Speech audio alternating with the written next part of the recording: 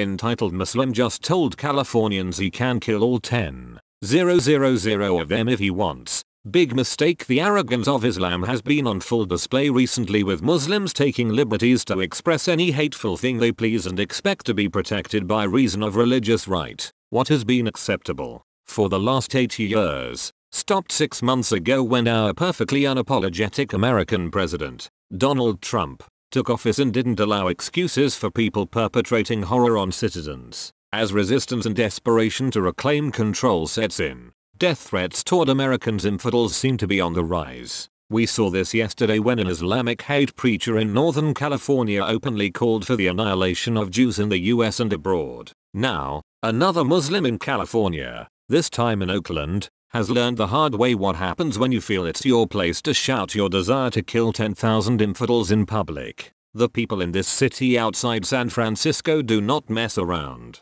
For the third time this week, we are hearing about what Muslims in liberal-run California are doing to try to take over certain parts of that state and rain hell on infidels. It started in the city of Fresno where a cramped apartment full of Muslim refugees had a disgusting slaughter party and sacrificed a goat. They took the sick act even further by passing the raw meat to neighbors, inevitably spreading disease with the foul gift. A couple of days later, a Muslim imam north of Fresno was caught on television praying for the death of Jews, saying now is the time to annihilate them. Now, Amos Sinan al-Haggaji, in Oakland has gotten far more specific with his plans for a very certain group of Americans. Among the most despised people within the Muslim religion are homosexuals who have been targeted by the so-called religion of peace before, when a Muslim terrorist in Orlando, Florida opened fire on club goers, killing 49 people. Al-Haggaji apparently didn't think 49 dead gays was enough to please Allah and wanted to take down 10,000 of them in a massive attack on behalf of ISIS that he went public with online.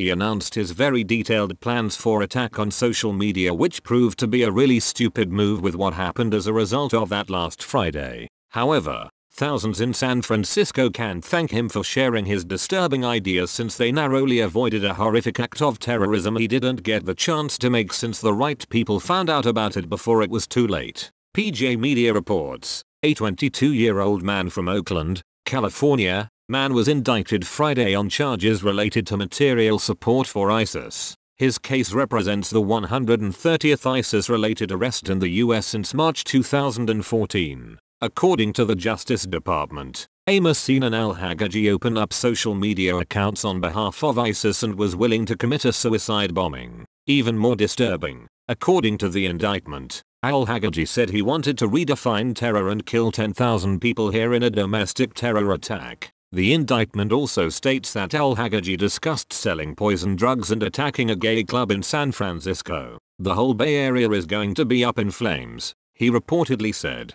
He had also spent time in Yemen and had planned to flee the country through Mexico following his attacks. Al-Haggaji was arrested in November 2016 and held on unrelated charges until last week's indictment. What's important to note in this case is that Al-Haggaji had been living in the Oakland community for years, completely under the radar. He attended high school there and was either radicalized the entire time or became so sometime after graduation. Those who know him were shocked to find out he's actually a terrorist and refuse to believe the reality of who he is. Despite al-Haggaji's own words and the evidence against him that proves his intentions, his high school friend, Ray Martinez, told NBC Bay Area that it's interesting to see that someone would be criminalized for fitting a stereotype, NBC Bay Area reports. Martinez first met al-Haggaji during a soccer class at Berkeley High when the two were freshmen. He was one of the first people I met at Berkeley High School, Martinez said. He added al-Haggaji was playful,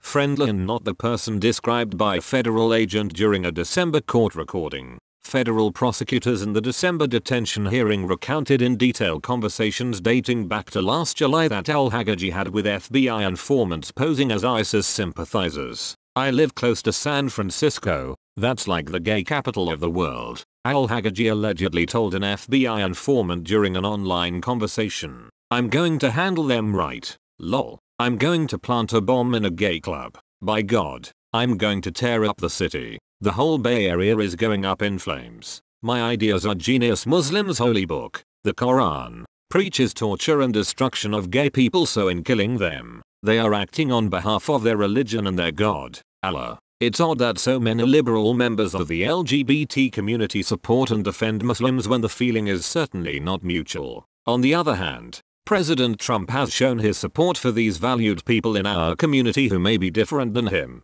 but we as Americans accept them just the same. So who is really the bigot in this case? It's not Trump's religion that preaches against this protected group of people.